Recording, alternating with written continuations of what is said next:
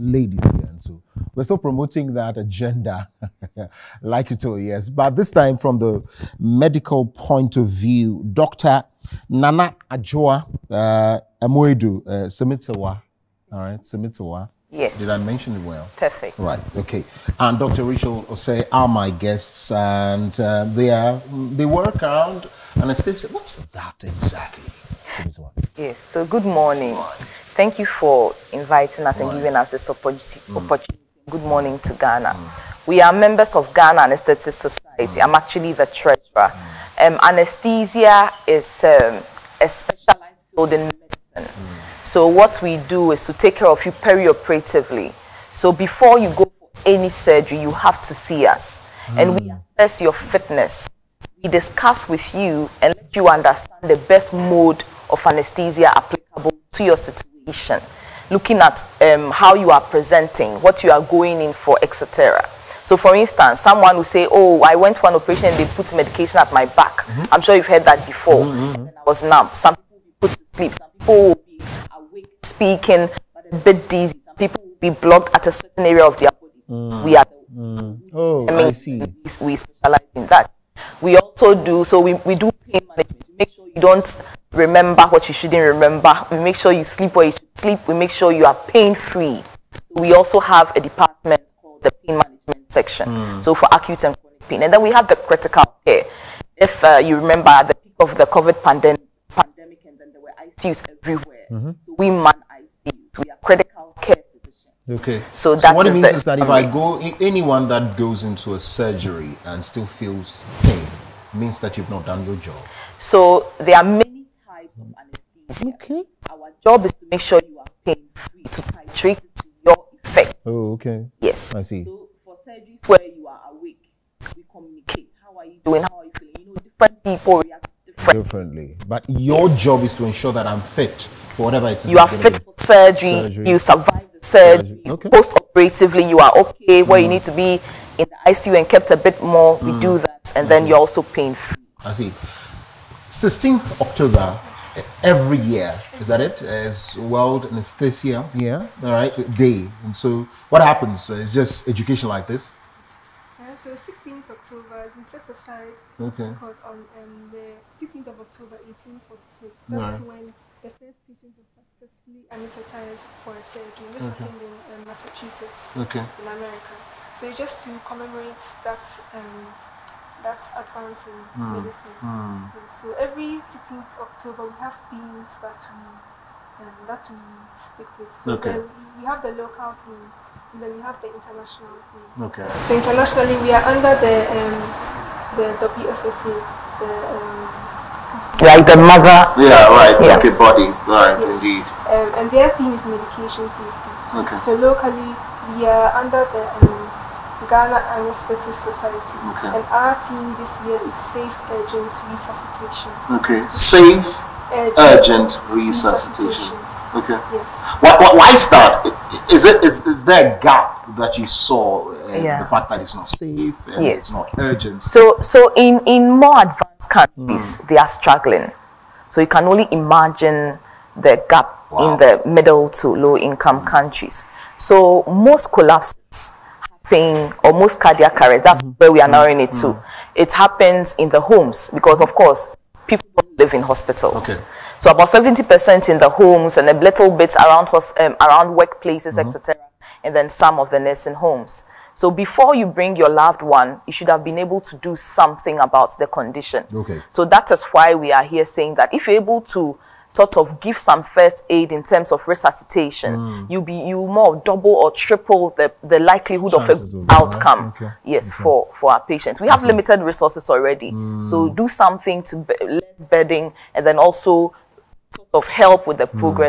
Of the of your loved You know what we'll do? Let's quickly go into the exercise here so that uh, we don't get carried away. Yes. And so, what are we going to be doing? Yes. So today we are going to do a short demonstration. We know we have time constraints here. Mm-hmm. Okay. We are going to show how you go about the collapsed person. Okay. So you meet maybe your loved one or your girlfriend, whatever, whoever Mm. collapses. What do you do? So we are going to do scene safety. You, of course, you don't want somebody collapsing in fire and you are going to be the ninja or the hero or the hero. No, you have to be safe. Your loved one or stranger, or whoever has to be safe.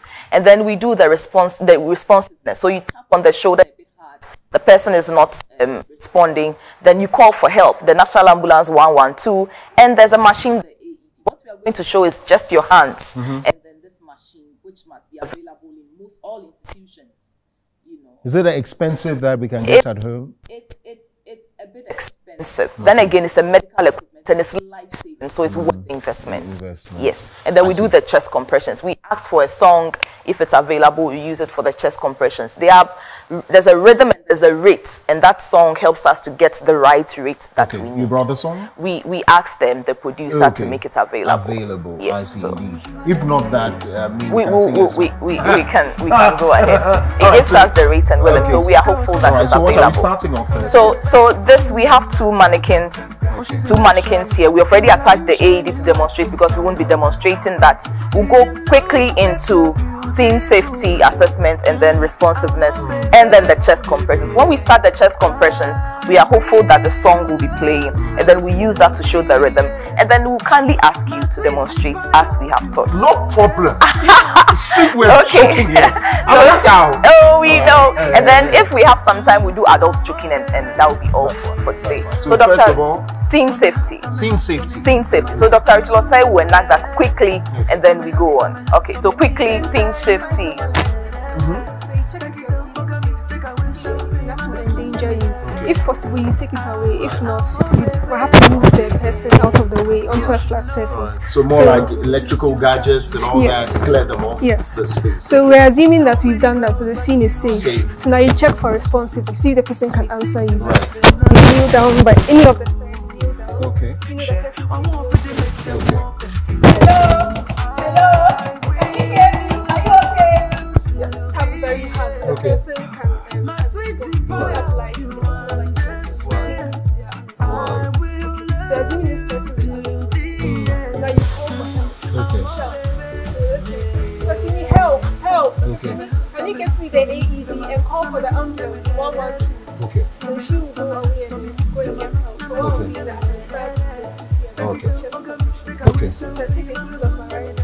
Heel of your. Please show us the heel. of- Yes.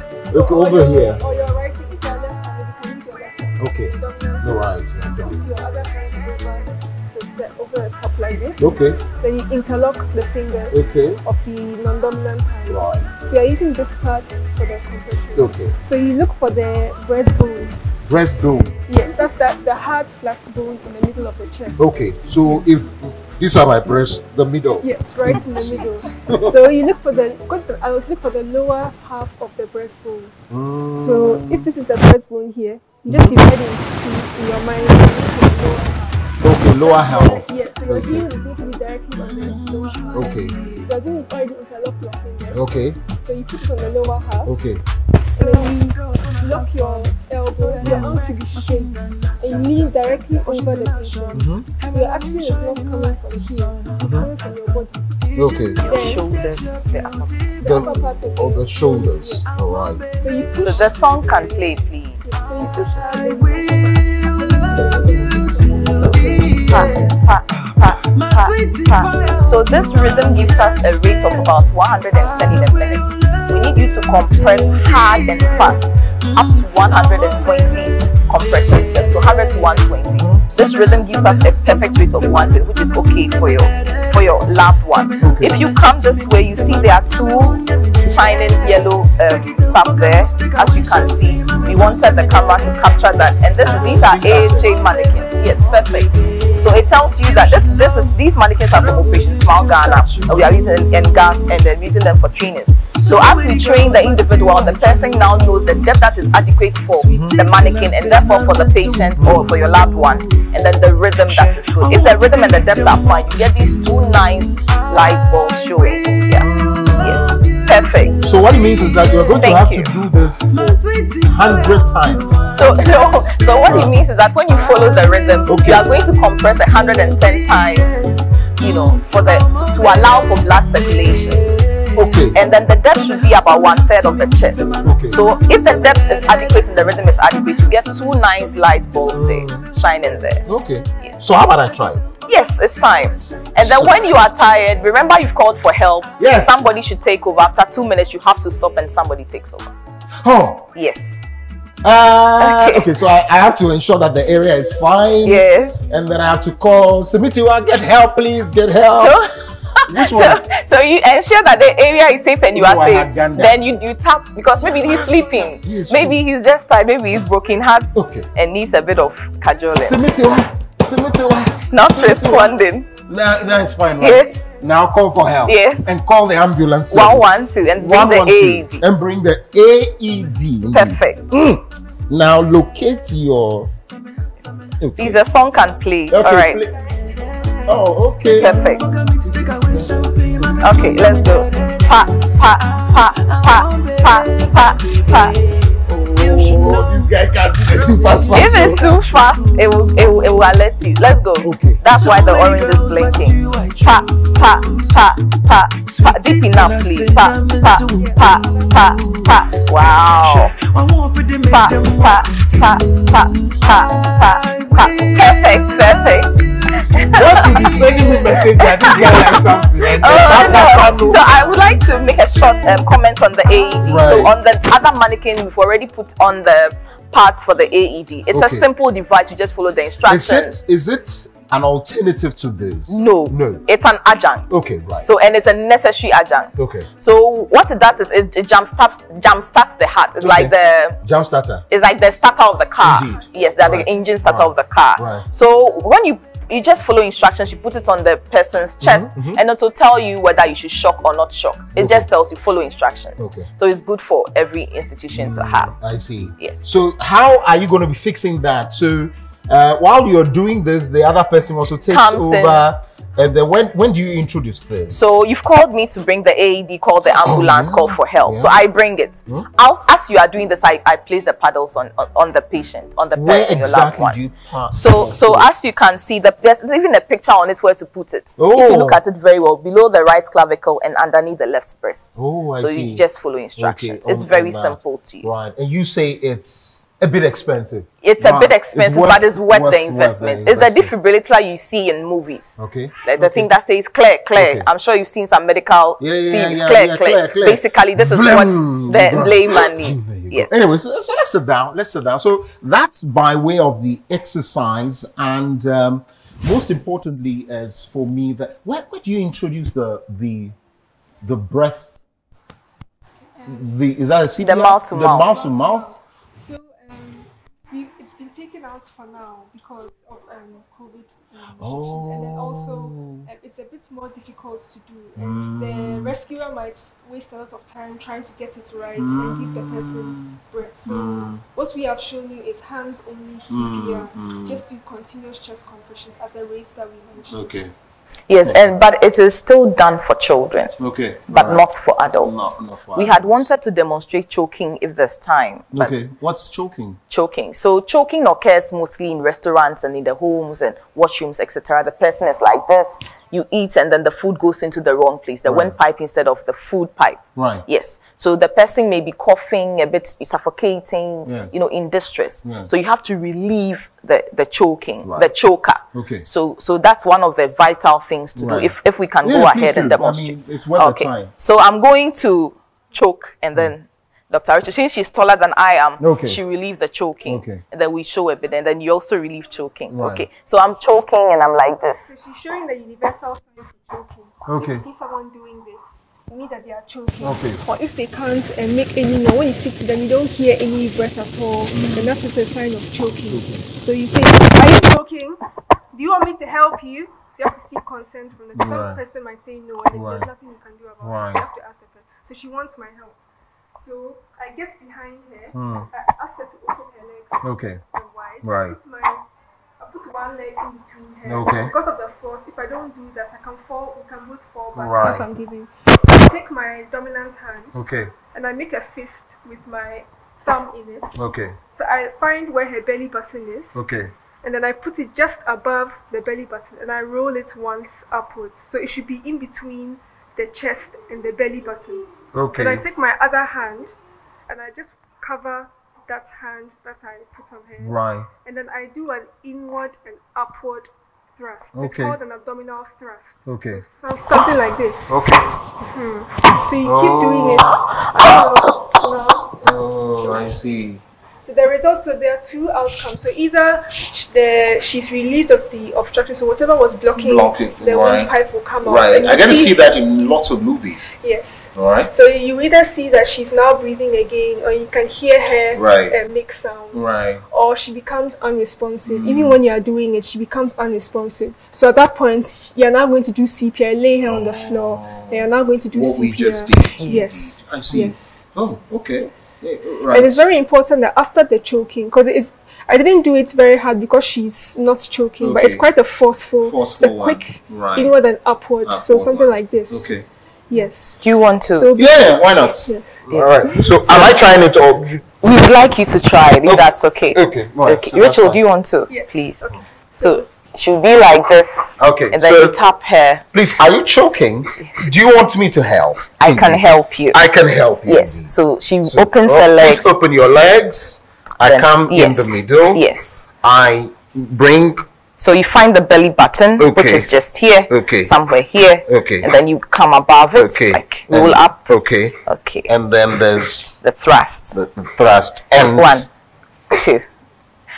Okay. so this way, Yeah. So it's as if you're forceful. scooping. Yes, sort of. Scooping? Sort of. Inward and outward thrust. Okay. Yes. I see. So I see. because of how forceful it is, Yes. it can actually cause um, injury to the abdomen. But this is something that um, you can look over. Look over because you're Because of choking. that, you have to take the person to hospital Oh, to get right. checked over. Yes. see. Yes. Yes. I see. So that's that's as important as ever to me.